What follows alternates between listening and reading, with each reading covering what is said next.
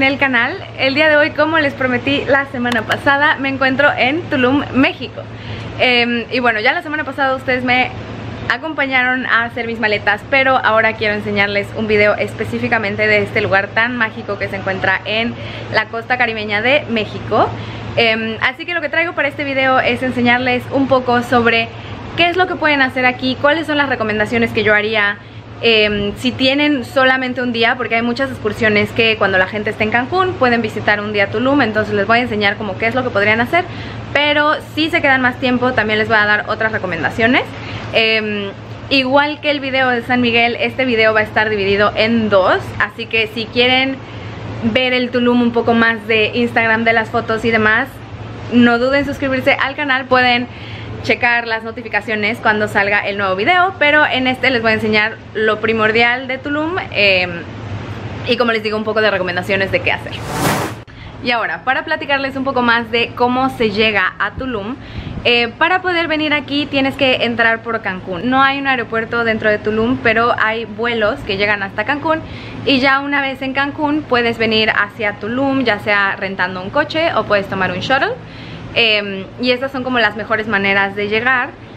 Te recomendaría que el shuttle lo busques con anticipación si es que vienes así porque en el aeropuerto la verdad es que los precios se pueden poner bastante caros entonces siempre busca todo con anticipación. Y Tulum se encuentra más o menos como a una hora u hora y media desde Cancún manejando. Va a depender un poco de la velocidad a la que vayas manejando y las condiciones en las que vengas. Si es un día soleado, pues probablemente te hagas nada más una hora. A nosotros nos tocó muchísima lluvia ayer, entonces sí nos hicimos más de la hora, yo creo que tirándole a una hora y media para llegar aquí porque pues el camino estaba un poco inundado en algunas ocasiones y bueno, hay que recordar que aquí Tulum es muchísimo más natural de lo que es Cancún, ¿no? Entonces la calle está mucho menos pavimentada, sí tiene un poco de pavimento, pero tiene mucha más tierra, es mucho más terroso, más natural de lo que es Cancún, entonces si está lloviendo y cosas así, pues obviamente toma un poco más de tiempo llegar.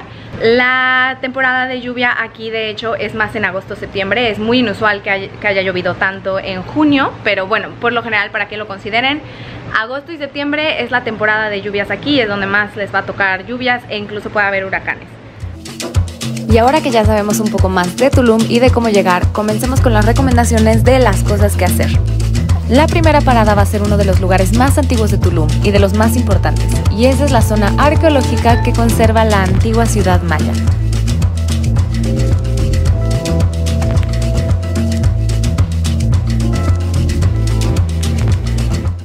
Y bueno, la primera recomendación que voy a hacer de que ven en Tulum sería venir a las ruinas, eso es un must. Por lo general la gente que no se queda en Tulum, que está en Cancún y quiere visitar de un día, esto es lo que pueden hacer por un día.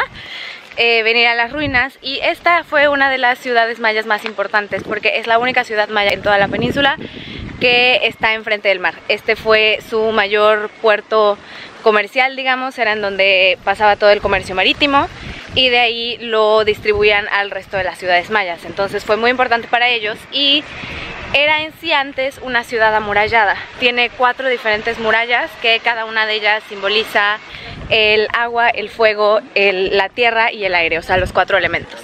De hecho, la cuarta muralla no es una construcción de pirámides, sino son los arrecifes de coral, porque eh, pues son prácticamente impenetrables, entonces los barcos no podían pasar por ahí, no podían venir a como atacarlos por ahí.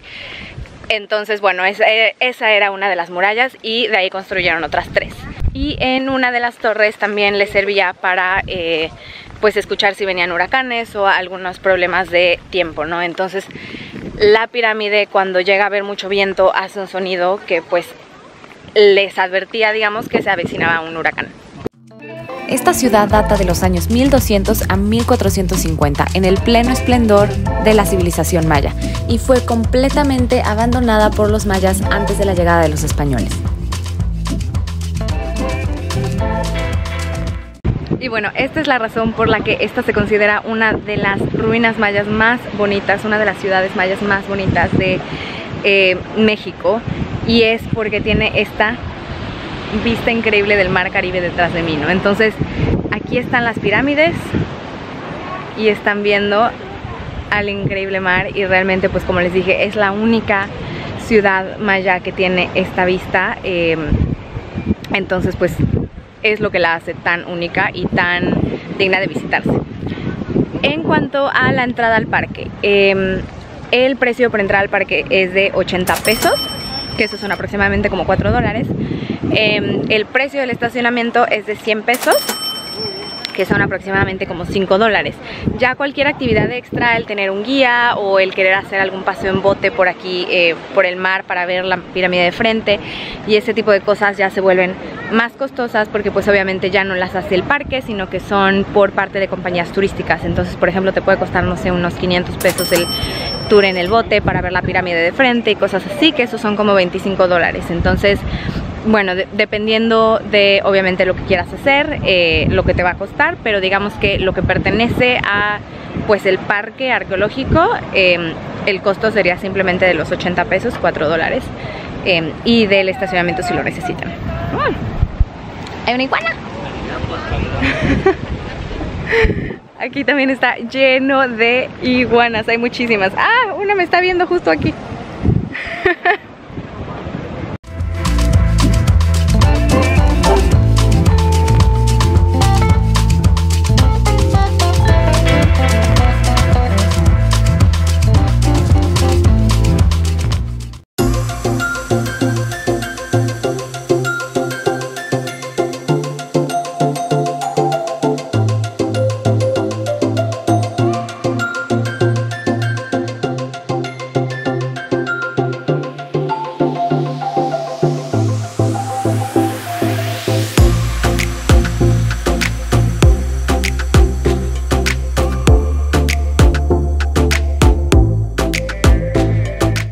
La siguiente recomendación es por supuesto venir a un cenote y es que esta área está llenísima de cenotes, ¿no? Eh, los cenotes en sí fueron como agujeros que se formaron por el meteorito que cayó aquí en la Tierra hace millones de años que destruyó a los dinosaurios, ¿no? Ese cayó en la península de Yucatán, por eso se ve la forma así eh, de México de esa península y entonces pues alrededor obviamente cayeron muchos otros como pedacitos de meteorito que hicieron estos agujeros eh, en donde se metió el agua al final de cuentas, ¿no? Entonces, bueno, por eso son lugares tan únicos de la zona porque pues son cosas que solamente encuentras aquí, ¿no? Los cenotes solamente se encuentran en esta área. Hay dos cenotes que están más cerca del área de Tulum eh, y estos son el Gran Cenote y el Cenote Calavera. Nosotros venimos al Gran Cenote porque es el más grande. Entonces, bueno, la entrada cuesta 300 pesos y una vez que entras te piden eh, pasar a tomarte una ducha antes de poder entrar al cenote.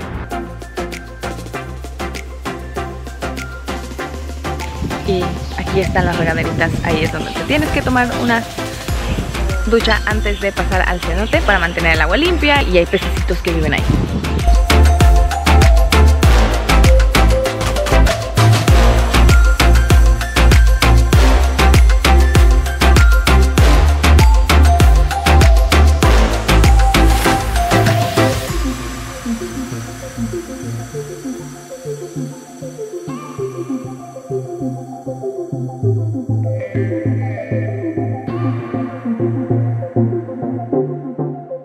La verdad es que vale muchísimo la pena venir a los cenotes, es una de las cosas únicas de esta área y puedes estar nadando en aguas súper azules, súper cristalinas.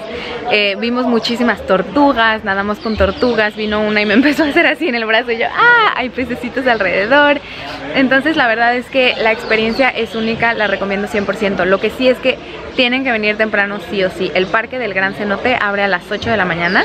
Cada cenote tendrá sus horarios, ¿no? Pero este en específico que fue el que venimos, a las 8 de la mañana estaba perfecto. Pero ahorita son las 10 de la mañana y está llenísimo de gente alrededor y, ya es un poco más complicado, ¿no?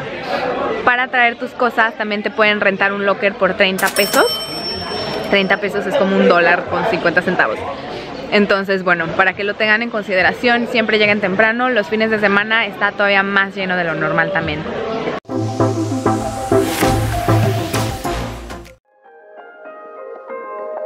La siguiente recomendación es hacer una o varias actividades de bienestar. Masajes con cristales para balancear la energía, cycling frente al mar, meditación o yoga en una casa del árbol. Tulum es un paraíso natural en el que mucha gente se da la oportunidad de hacer meditaciones, yoga o actividades que los conecten con la naturaleza y consigo mismos. Son experiencias únicas que te harán volver a casa sintiéndote mejor que nunca.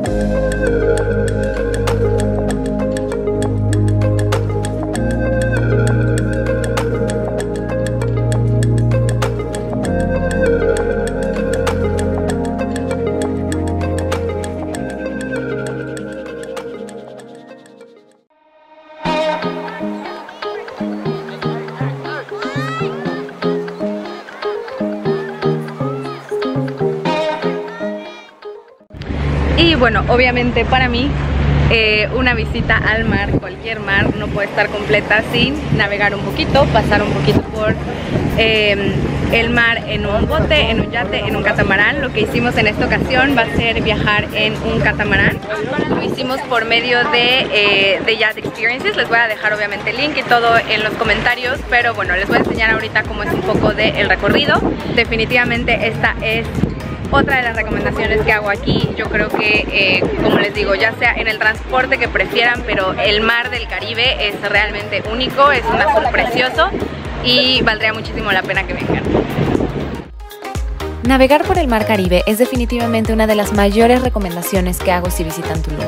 Hay muchas compañías que ofrecen servicios de botes, yates y catamaranes. Nosotros tomamos un tour con The Yacht Experiences y tuvimos una muy buena experiencia. El paseo fue de unas 4 horas y salió desde Puerto Aventuras, que está aproximadamente a unos 40 minutos desde Tulum. Nos incluyó bebidas y además tenía una chef a bordo que nos preparó una comida con entradas, plato fuerte y unos postres deliciosos. Pudimos también parar un par de horas para nadar, snorkelar y disfrutar un poco del agua.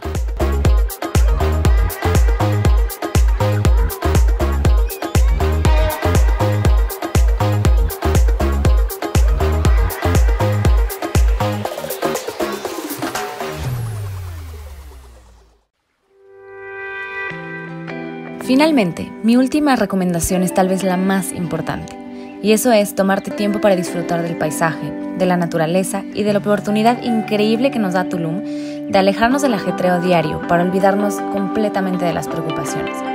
Disfruta de la arena blanca, del olor del agua salada, de los animales y las plantas que crean el ecosistema. Poder estar en Tulum es un regalo, y recuerda tomarte el tiempo para disfrutarlo al máximo.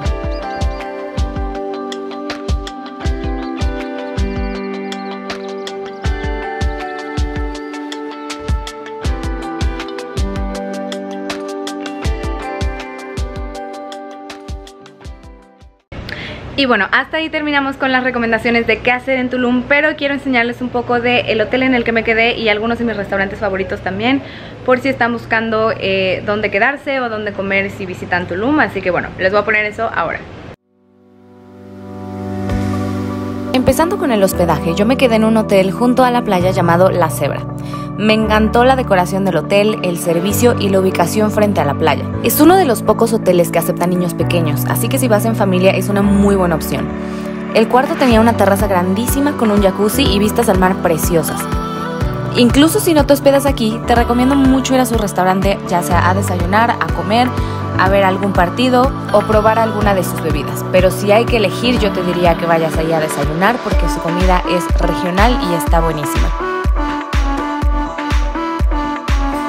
Mi restaurante favorito en todo Tulum fue definitivamente el Ilios. Es un nuevo restaurante de comida mediterránea y la verdad es que el concepto es bastante novedoso y la comida está buenísima. Tienen un show en la noche con violines, bengalas y demás que termina con la oportunidad de romper un plato al son de la música griega. Además de todo, el servicio es excelente. Y si de Beach Clubs hablamos, uno de los más trendy del momento es Tabú. Este, además de ser un lugar junto a la playa con música excelente, también es un muy buen restaurante de mariscos, entonces ya sea que quieras ir simplemente a pasar un buen rato, a tomar algunas bebidas o a comer, puedes hacer todo eso y más.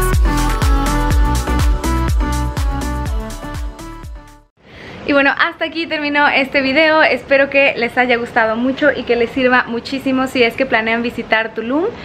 Eh, no olviden suscribirse al canal para seguir viendo los videos que voy a sacar cada semana, cada viernes a las 5 pm. Si te gustó este video, no olvides darle una manita arriba, me ayudarías muchísimo. Y bueno, sin más, yo los veo la semana que viene. Bye!